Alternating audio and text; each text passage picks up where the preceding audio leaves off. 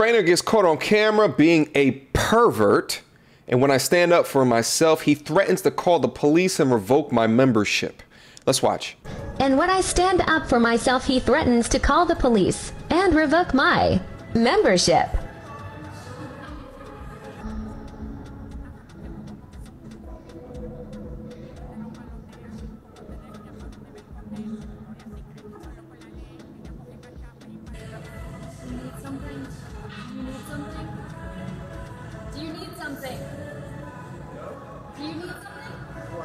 Do you need something? Okay, I thought so.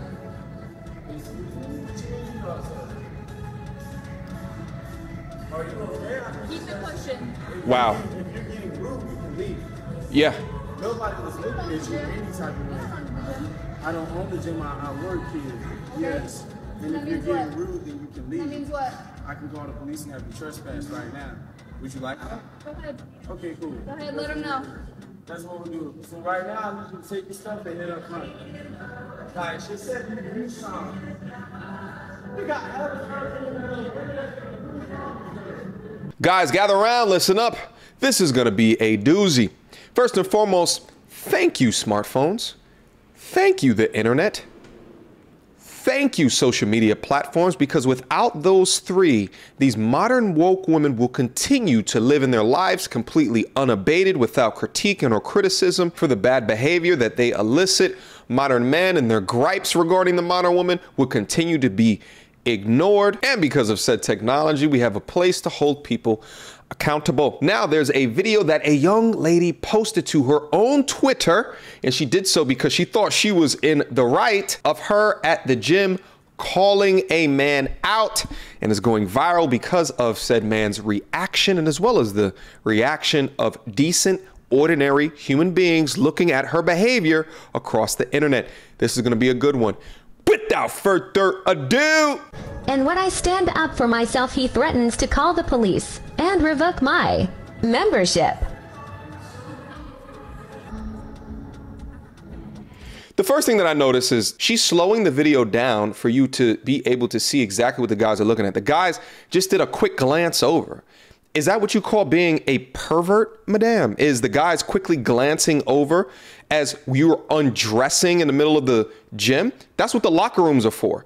Go undress in the locker room. But it's clear that from the things that you are wearing and undressing yourself out in the public that you are seeking attention. You are seeking validation. Being in a gym, recording yourself in the tightest thing that you can possibly find with your stomach out, with your chest spilling out of your sports bra, undressing yourself as you're looking in the mirror, looking around at all of the men to see who's watching you. It's so ridiculous to me that you wear these different things or demonstrate yourself in this particular way, and then you get mad when you get the attention that you were looking for. It looks like the guy sitting down says something, and then the guy over here just turns around and takes a look. And then she starts with her bullshit. Do you need something? Now, mind you, he is between bicep curl machine, the dip machine, the squat machine, four machines worth away across the gym. And he turned back and just took a glance. And then she starts with the aggressive, do you need something? Like, for real, stop the cat, madame. Like, he's not even close to you. He's all the way across the goddamn gym. And he wasn't even making direct eye contact with you. You had to look at him in the mirror to see him glancing at you. It's a lot different if dude is all up in your space, touching or staring, and you tell him to stop and he then refuses to leave you alone. But you didn't expect that he was gonna call you out on your bullshit. Let's keep going.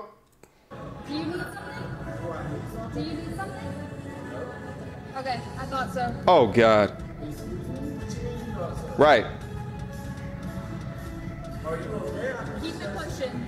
See, she doesn't expect responses, man responses, masculine responses. And notice, shout out to the brother. He's keeping his emotions in line and check, and he's just addressing the situation. You don't get riled up because we all know in the back of our minds, she's gonna try this women victimization ish as if we're all oppressive mongrels and sexual deviants. What he did was not sexual deviant or perverted shit as what you claim in your TikTok video. If you're getting you can Nobody She said no.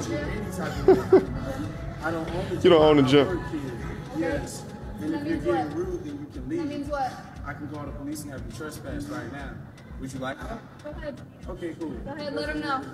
That's what we'll do. So right now, I need you to take your stuff and head up front. Yeah, get out of there. You got everything. You know, another thing I noticed as well. Did you guys notice her shaking her hips like that? Look, That's what we'll do. So right now, you to take your stuff and head up front. Like she said, you something. You got that's not getting ready for a lift. That's what I like to call the modern woman attention seeking mating dance.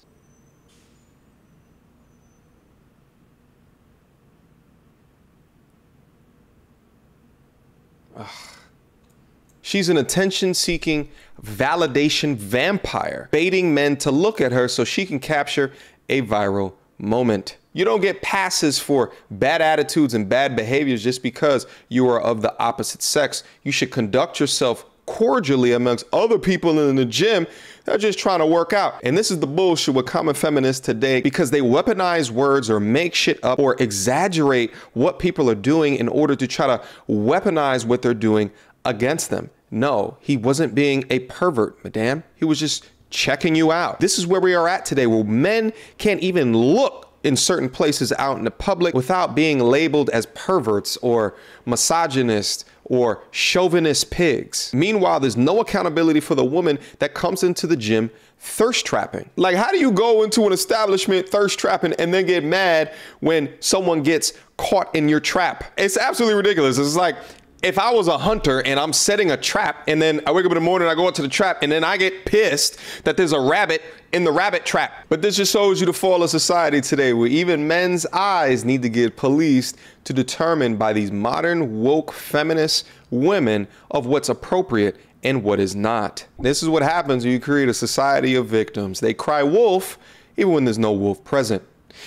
Questions, comments, concerns. Y'all already know what to do. Mediocre tutorials and reviews at gmail.com. You guys agree with me? You disagree with me? Leave it down in the comment box down below. The last thing I'm going to say is listen, it's sweet justice that he works for that gym because he can actually do something about her bad attitude and her bad behavior.